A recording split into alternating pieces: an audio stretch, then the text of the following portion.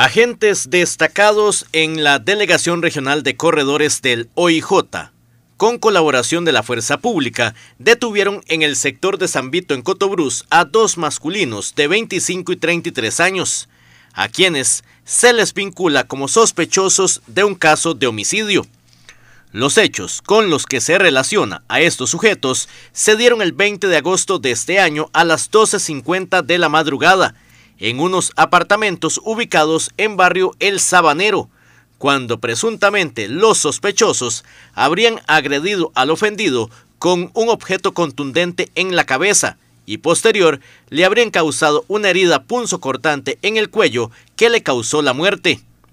Tras una serie de investigaciones, vigilancias y seguimientos, los agentes del Organismo de Investigación Judicial de Corredores lograron la detención en vía pública del masculino de 25 años en Zabalito de Cotobruz el 26 de agosto y del sospechoso de 33 años el 27 de este mes, en el sector de El Danto también en Cotobruz, donde al parecer se mantenía oculto en una casa de habitación.